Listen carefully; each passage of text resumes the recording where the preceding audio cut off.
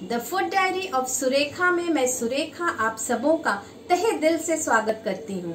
सर्दियों का मौसम हो और गाजर का हलवा ना बने, ऐसा तो हो ही नहीं सकता। तो चलिए, आज बनाते हैं गाजर का हलवा मेरे स्टाइल में। गाजर हलवा बनाने के लिए मैंने एक किलो गाजर लिए हैं, उसे अच्छी तरह से धो लिया है, छील लिया है और कद्दूकस कर लिया है। घी, काजू और बादाम इलायची पाउडर, काजू बादाम पिस्ते की कतरने, दो मिल्क पाउडर के पैकेट, चीनी। आप चीनी अपनी मिठास के अनुसार कम ज़्यादा ले सकते हैं।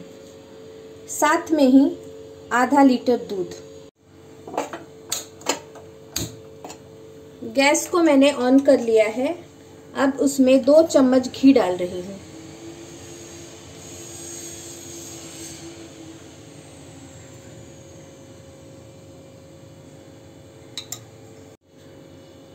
अब मैं कद्दूकस किए हुए सभी गाजर को घी में डाल दे रही हूँ। अब इसे पाँच से छः मिनट तक घी में अच्छी तरह से भून लें। पाँच छ मिनट हो गए हैं, इसको मिक्स करके अब मैं इसमें दूध डाल रही हूँ।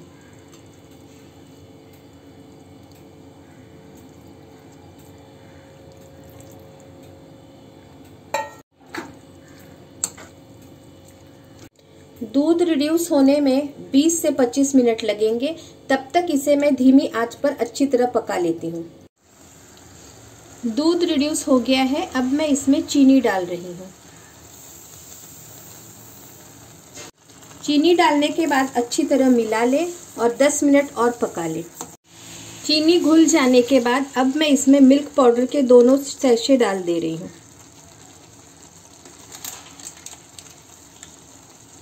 अब मिल्क पाउडर को अच्छी तरह से मिला लें। इलायची पाउडर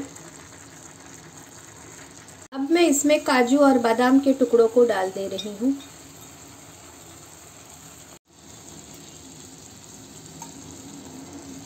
अब दो चम्मच ऊपर से घी डाल दें।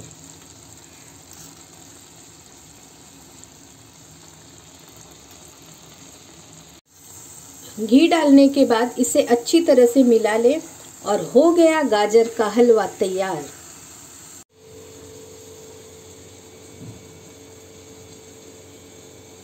ऊपर से थोड़ी काजू, पिस्ता और बादाम की कतरने डाल दें।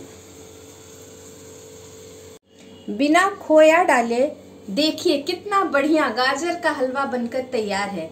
तो आप भी इसे ज़रूर बनाएँगे ना? तो इसी तरह मेरे चैनल को लाइक, शेयर और सब्सक्राइब ज़रूर कीजिएगा। साथ ही बेल आइकन को प्रेस कीजिएगा ताकि आपको हमारी अगली रेसिपी की नोटिफिकेशन मिलती रहे। तो मिलते हैं अगली रेसिपी में। तब तक के लिए बाय बाय